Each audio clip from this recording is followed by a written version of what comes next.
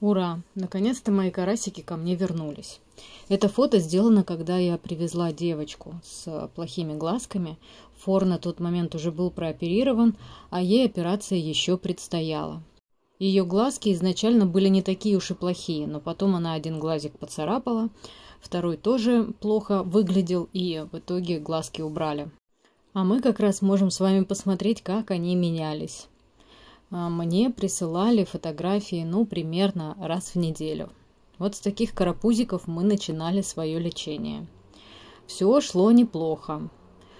Глазки хорошо подживали. Малыши отлично кушали, что для нас было просто самым важным, чтобы детки набирались сил и росли крепкими и здоровыми. Фор изначально был самый крупный из карасиков. Ну и, в общем-то, он единственный обладатель глазика – Остальные его сестрички слепые. Линия, глазки уже удалили, на Этире это еще предстоит. Вот такие они милые, очаровательные. Так сказать, присылали приветики из ветклиники и росли понемножечку.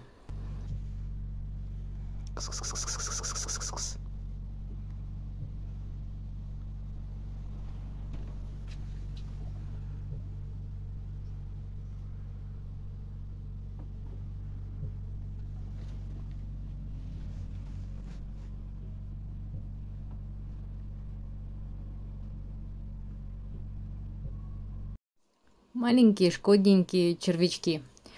Лина ничем не отличается от фора. В плане найти что-то, спрыгнуть, запрыгнуть. Слепота не помеха для котиков. Ну что вы? Эй! В разные стороны разбегаются. А ты куда побежал?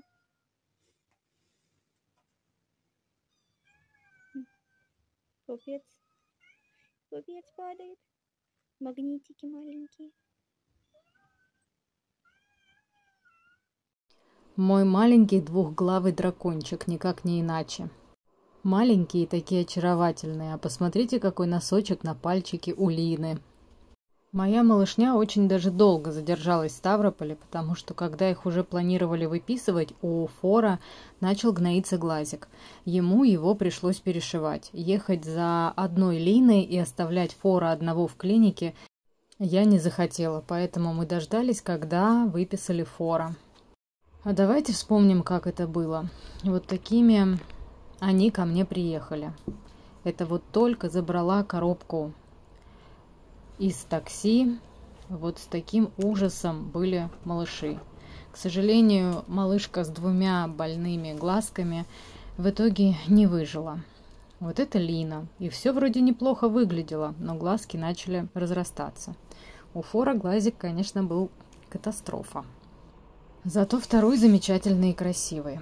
Вначале малыши меня очень напугали, особенно на Этире – которая первый день просто лежала пластом. Оказалось, что их накормили сметаной. Ей было ужасно плохо.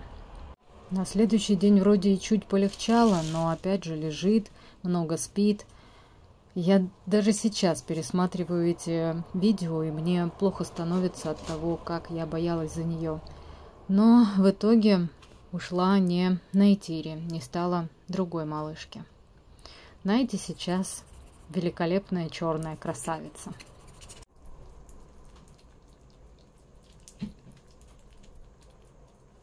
Самую крохотную и плохо кушающую кормлю отдельно. Чтобы никто не забрал, и я видела, сколько она съела.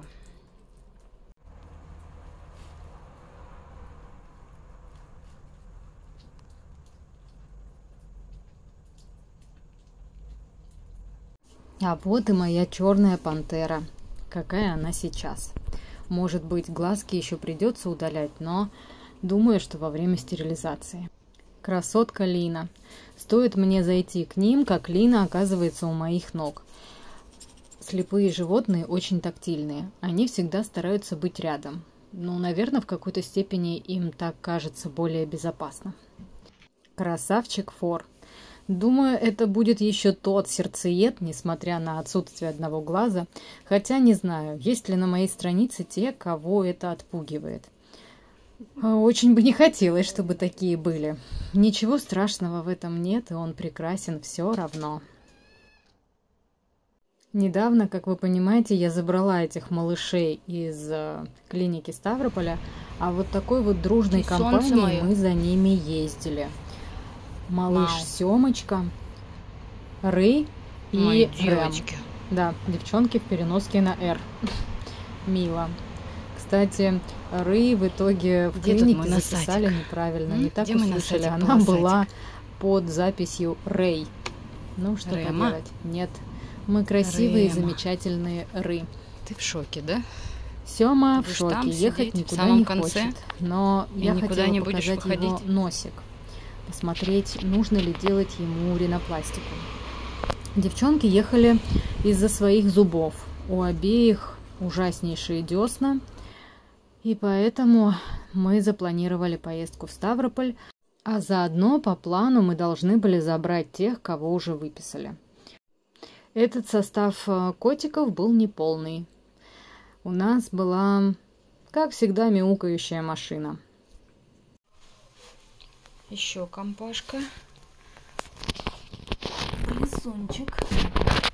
Тут каюнчик. Каюнчиков не видно. О. Ну и толпа провожающих. Пока толпа. До свидания, толпа. Блисик такой мелкий, что его и не видно в переноске. Жался в уголочек. Маленький компактный котеночек. Котик. Но это очарование, можно сказать, моя новая малышка. Я буду помогать ей искать дом. Люди повредили животное, она в итоге потеряет зрение, ну и, как обычно, отказались. Сын Марины, которая мне всегда помогает в Минводах, когда я сажаю животных на самолет, рассказал, что его знакомые хотят отказаться вот от такого очарования. Да, кстати, у них есть бенгал-мальчик, и я думала, что это он поцарапал глазик малышки, но на приеме у врача нам объяснили, что это был сильный удар по голове, и поэтому у нее отслаивается сетчатка. Ну а как мы доехали такой мяукающей компанией и что было на приеме у врача, я расскажу чуть позже, в следующем видео. Немного красотищи вам из э, нашей поездки – а вас очень прошу поставить лайк этому видео, написать комментарий, а можно несколько. Это помогает продвигать видео.